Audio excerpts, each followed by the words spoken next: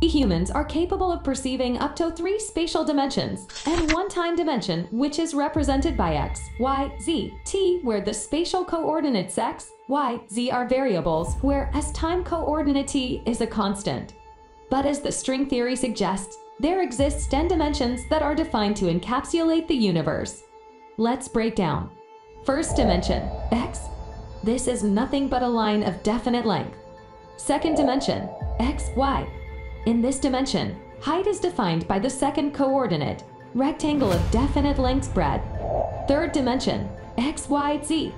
In this dimension, a third coordinate is added that defines the depth, hence volume of an object is defined. Fourth dimension, x, y, z, t. In this dimension, time coordinate is added that defines every possible outcome of the occurrence of the current event.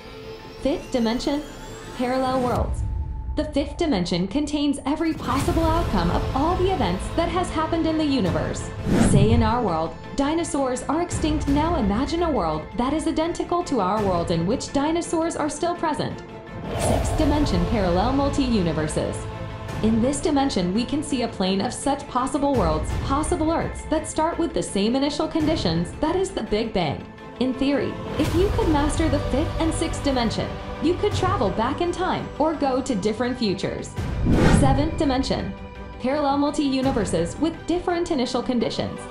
We can see a plane of such possible worlds universes that are having different initial conditions, say, a world would have formed before our observation reference Big Bang. One might have formed just now. Here, everything is different from the very beginning of time. Eighth dimension, infinite universes.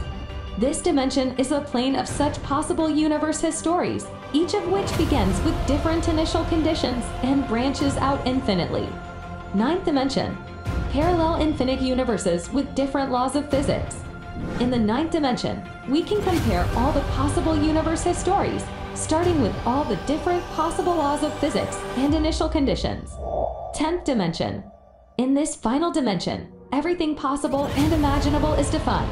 Beyond this, nothing can be imagined by us mortals. If you like this video, please consider subscribing.